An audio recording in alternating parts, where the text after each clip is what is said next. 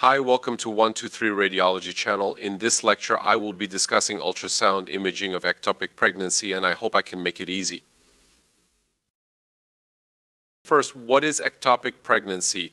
It is a pregnancy that has been implanted outside the endometrial cavity. Ectopic pregnancy accounts for approximately 2% of all pregnancies.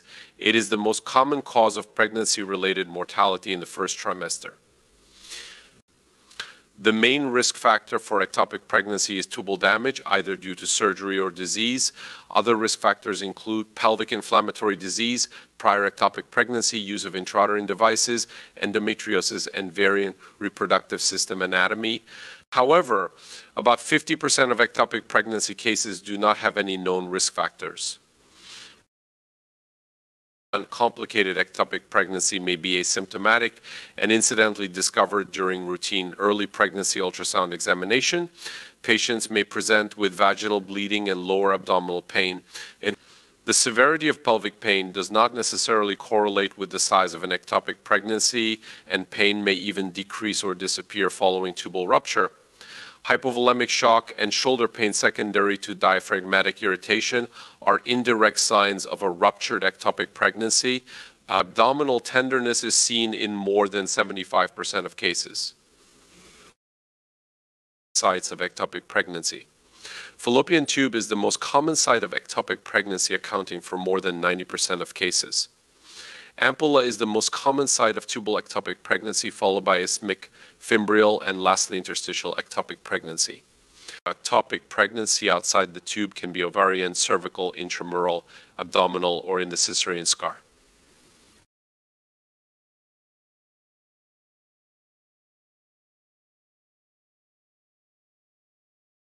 The sonographic features of ectopic pregnancy are divided into intrauterine findings and extrauterine findings.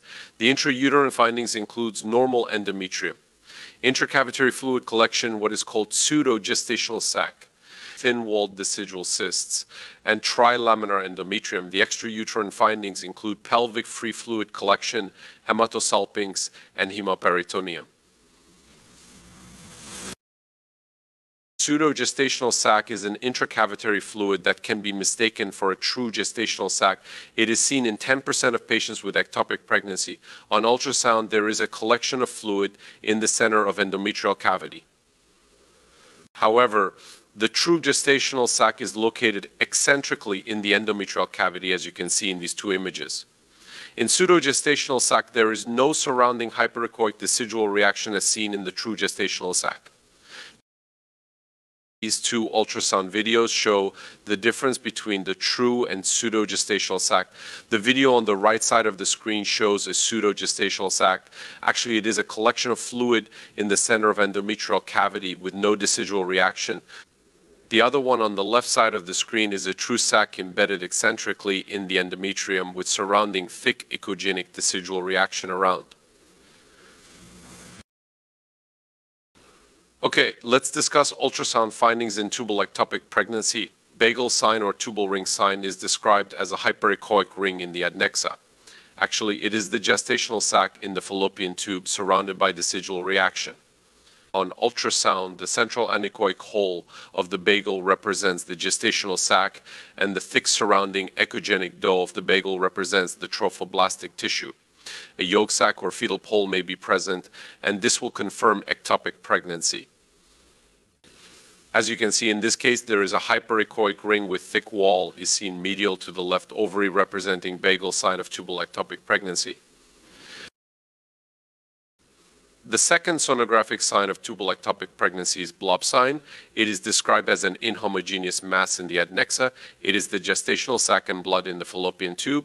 As you can see in these two sign clips, the blob sign is seen in axial section and longitudinal section. This video clip shows another case of tubal ectopic pregnancy with a classic bagel sign. The adnexal mass here is inhomogeneous and separable from the adjacent ovary on gentle pressure by the ultrasound probe.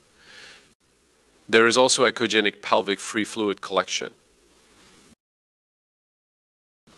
The most common finding of a tubal pregnancy is an adnexal mass that is separate from the ovary. This is seen on ultrasound images in up to 90% of patients. As you can see in this case, there is an adnexal mass showing thick hyperechoic walls and located medial to the left ovary. On gentle pressure by ultrasound probe, the mass appears separate from the ovary. This is a Doppler video clip of the same case showing peripheral hypervascularity surrounding the adnexal tubal ring. This sign is called ring of fire sign. It is a non-specific finding and may also be seen surrounding a normal maturing follicle or a corpus luteal cyst. The definitive diagnosis of ectopic pregnancy can be made with ultrasound visualization of a yolk sac and or embryo in the adnexa. This is seen in about 15% of cases. These are two different cases of definitive tubal ectopic pregnancy. Both cases show a yolk sac inside the ectopic gestational sac confirming the diagnosis of ectopic pregnancy. Another video for a case of definitive tubal ectopic pregnancy. However, in this case, the ectopic gestational sac contains an embryo with positive cardiac pulsations.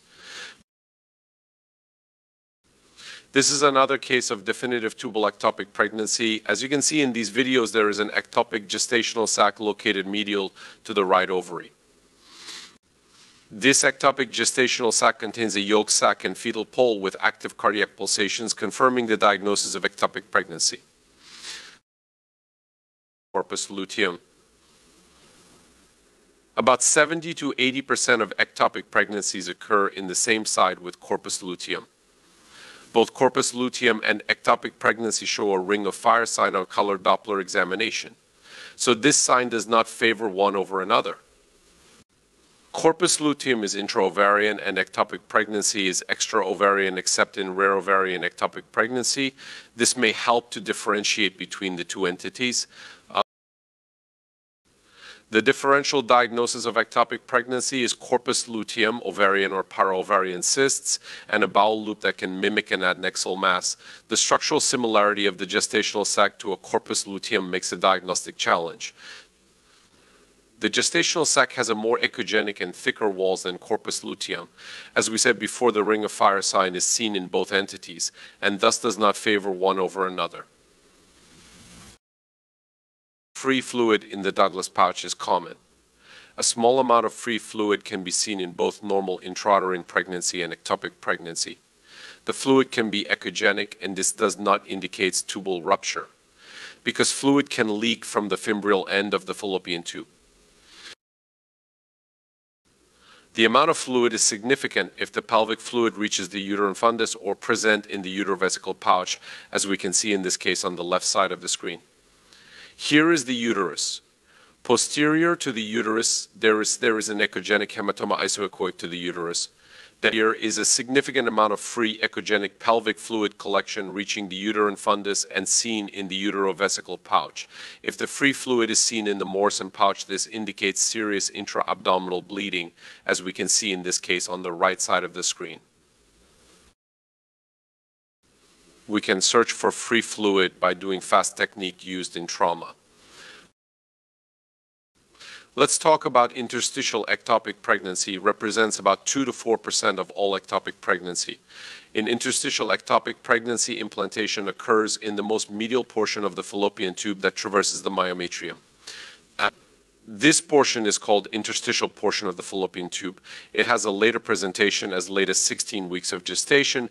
Because of the greater distensibility of myometrium, it results in a bulge in the external contour of the uterus, and this can be seen in laparoscope and 3D ultrasound.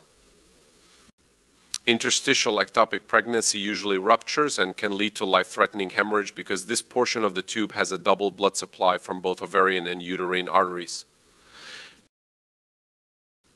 On ultrasound, the ectopic gestational sac is located outside the uterine cavity in the outer edge of the uterus, more than one centimeter from the lateral edge of the endometrial cavity.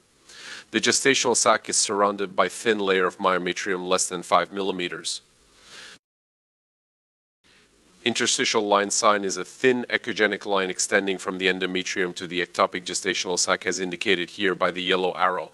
It has an 80% sensitivity and about 98% specificity due to interstitial ectopic pregnancy. On 3D ultrasound, there is a deforming or bulging of the outer contour of the uterine cavity. As we can see in this case of interstitial ectopic pregnancy. The gestational sac is located at the right outer edge of the uterine cavity more than one centimeter from the endometrium. The ectopic sac here is surrounded by a thin layer of endometrium measuring about three millimeters. Uh, if we carefully look, we can see a tiny yolk sac inside the gestational sac confirming the diagnosis of ectopic pregnancy. The differential diagnosis of interstitial ectopic pregnancy is angular pregnancy. In angular pregnancy, the implantation occurs in the superior lateral aspect of the endometrial cavity, just medial to the uterotubal junction.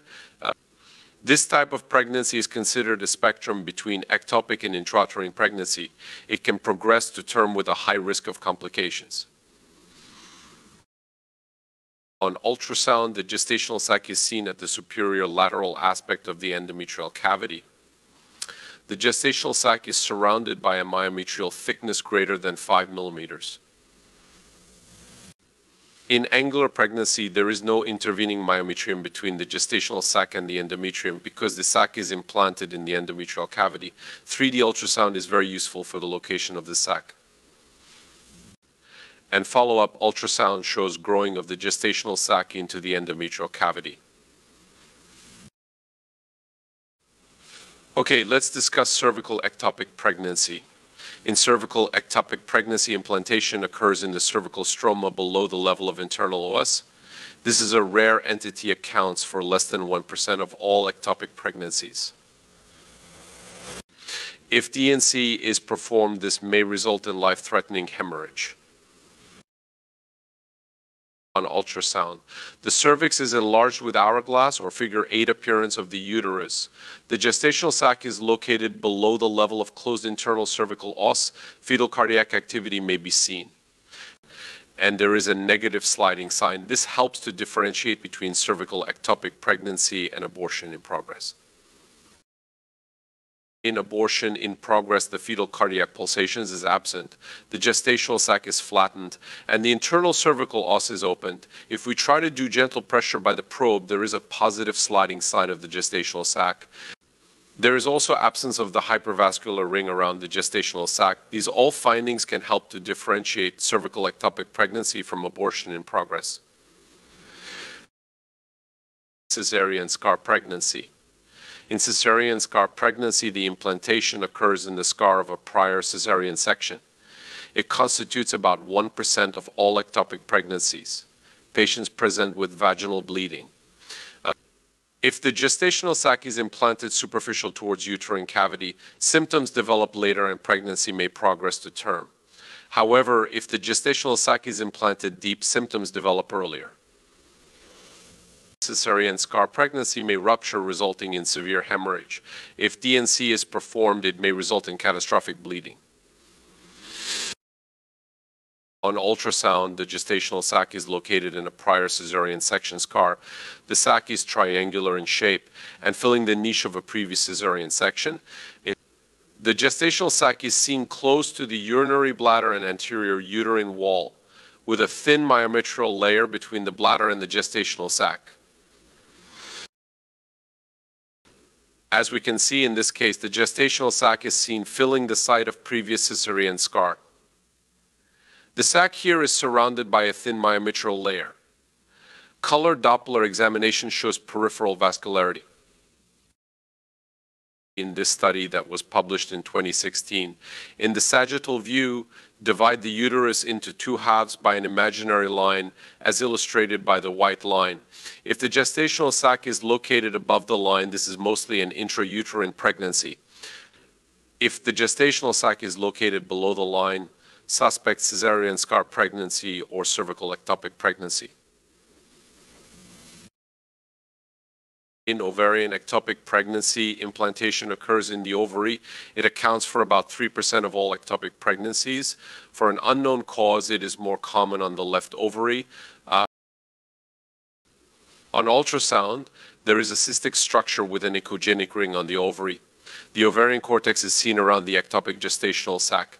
The uterus is empty, and the fallopian tubes are normal with no internal sac. The differential diagnosis of ovarian ectopic pregnancy is corpus luteum. The ectopic sac shows more echogenic and thicker wall than corpus luteum. As we said before, the ring of fire sign is present in both entities. The other differential diagnosis is tubal ectopic pregnancy adjacent to the ovary. In this situation, it may be difficult to differentiate between an ovarian and tubal ectopic pregnancy. This case here shows the two examples, as we can see. There is an ectopic gestational sac with thick and echogenic walls. The sac is located adjacent to the ovary and was confirmed at surgery as a tubal ectopic pregnancy. Abdominal ectopic pregnancy is a rare entity accounts for about 1% of all ectopic pregnancies. Abdominal pregnancy can occur by two mechanisms, either primary or secondary. In primary abdominal pregnancy, the blastocyst is expelled into the peritoneal cavity from the fimbrial end of the fallopian tube, while the secondary type occurs due to rupture of a tubal ectopic and reimplantation in the peritoneal cavity. Abdominal ectopic pregnancy may continue without complications. However, it has eight times higher maternal mortality rates as compared to tubal ectopic pregnancy. Heterotopic pregnancy occurs when an intrauterine and an extrauterine pregnancy occur simultaneously. The incidence of heterotopic pregnancy is 1 to 30,000 in the general population and 1 to 3% among cases of assisted reproduction. It is important to remember that the presence of an intrauterine pregnancy does not exclude ectopic pregnancy, and it should be kept in mind when a patient who has undergone assisted reproduction presents with pelvic pain.